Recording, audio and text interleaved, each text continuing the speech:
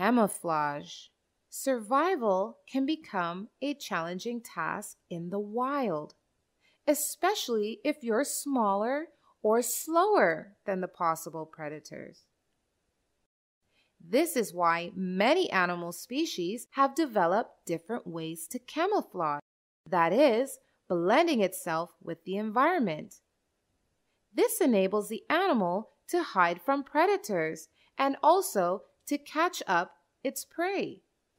This is a stick insect. It completely blends with its environment. That is, it looks like a stick itself.